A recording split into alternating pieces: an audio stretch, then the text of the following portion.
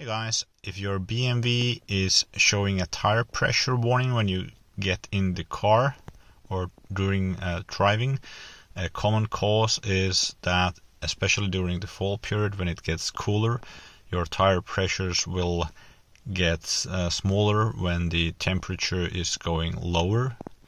So that might cause uh, notification especially on cooler mornings. So you should go ahead and check your tire pressures. On the iDrive system under vehicle status you can access the tire pressure monitor. So this will actually indicate your current tire pressures for all of the four wheels and it will also show you the recommended uh, front tire pressure and the recommended rear tire pressure. So for example in my case the tire pressure pressure had dropped because the temperature is quite a bit cooler. It's uh, September now in Finland, Finland, and some mornings are like um, 20 degrees cooler than the daytime. Regarding the tire pressures, you can also check the tire settings. So if you have uh, summer tires and these are R18 tires.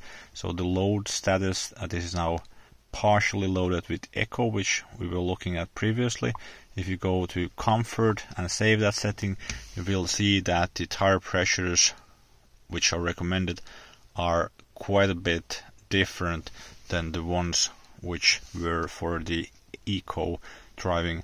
So I, I prefer the eco setting because that's uh, closer to economic driving and also kind of a rule of thumb for R18 tires would be to go with a tire pressure I would say around 2.7 to 2.8 bars.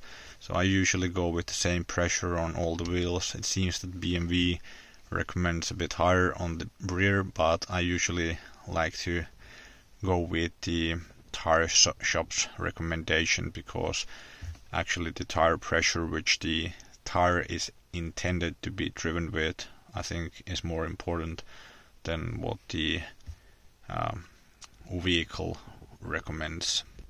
But anyhow, if your tire pressure has dropped, you can see it here, then you should uh, check it on each wheel and add pressure to get your uh, desired pressure and save your settings afterwards and that should get you uh, rid of that uh, warning.